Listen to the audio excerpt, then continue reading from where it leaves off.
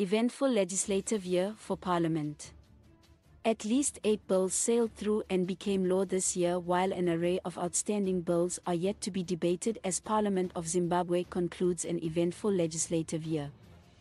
The year also saw one of crucial bills, Private Voluntary Organizations Amendment Bill being returned to Parliament by President Mnangagwa, in terms of the Constitution so that the Legislative Assembly attends to areas where he had expressed reservations. Most of the bills were debated during the fifth session of the Ninth Parliament, which came to an end before the August 23, 2023 harmonized elections. Of the eight bills that were passed, it was the Criminal Law Codification and Reform Act, the Electoral Amendment Bill, and the Labour Amendment Bill that drew a lot of debate both in Parliament and during consultations by relevant portfolio committees. The Criminal Law Codification and Reform Amendment Act seeks to punish those who campaign against the country through private correspondence with foreign governments and harm national interest. There was heated debate during consideration of the bill in the National Assembly and the presiding officer had to direct for the division of the House to allow voting for some of the contentious clauses. One of the clauses that drew debate was that which sought to impose heavy penalties on those that call for sanctions against the country. Justice, Legal and Parliamentary Affairs Minister Ziyambi Ziyambi brought amendments to the bill which got overwhelming support from ZANU-PF legislators while those from opposition CCC led by former Harare East MP. Mr. Tendai Biti opposed the amendments. One of the amendments Minister Ziyambi proposed reads as follows Any citizen or permanent resident of Zimbabwe who, within or outside Zimbabwe, intentionally partakes in any meeting, whose object or one of whose objects the accused knows, or has reasonable grounds for believing involves the consideration of or the planning for the implementation or enlargement of sanctions or a trade boycott against Zimbabwe, whether those sanctions or that boycott is untargeted or targets any individual or official or class of individuals or officials, but whose effects indiscriminately affect the people of Zimbabwe as a whole, or any substantial section thereof, shall be guilty of willfully damaging the sovereignty and national interest of Zimbabwe and liable to. The clause provides penalties that include a fine not exceeding level 12 or imprisonment for a period not exceeding 10 years, or both. Other proposed penalties include termination of the citizenship of the convicted person. If that person is a citizen by registration or a dual citizen, prohibition of being a registered voter for a period ranging between 5 and 15 years and prohibition of standing for a public office for a prescribed period.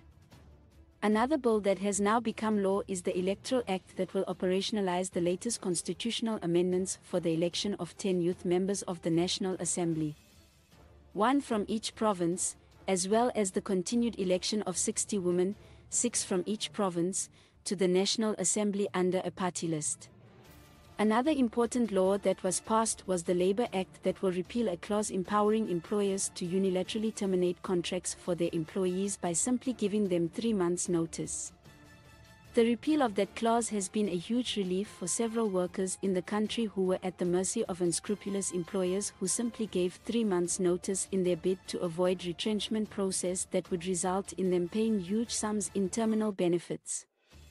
Others bills that were passed this year include Judicial Laws Amendment Act, Prisons and Correctional Services Act, Children Amendment Act, Electricity Amendment Act, and Institute of Chartered Laws Control and Private Security Management Act. The much talked about PVO bill sailed through Parliament before it was returned after President Mnangagwa expressed some reservations on some aspects which he felt was not consistent with the Constitution. Parliament is now obliged to consider these reservations expressed by the President before it is resubmitted for his assent. The Constitution allows two routes. In the first, Parliament has to amend the bill to take fully into account all the presidential reservations. So that the President will then accept it. In the second, Parliament can override the presidential reservations but then needs to repass the bill with a two-thirds majority in the National Assembly. The long-awaited Mines and Mining Amendment Bill is still to be concluded after President Mnangagwa expressed reservations on some of its provisions. Parliament is expected to consider areas which saw President Mnangagwa exercise his constitutional right to withhold his assent. Some of the bills yet to be concluded were pronounced by President Mnangagwa when he officially opened the first session of the 10th Parliament where he laid 29 bills that will help facilitate the implementation of programs and projects that will enhance the livelihoods of people and communities in the country.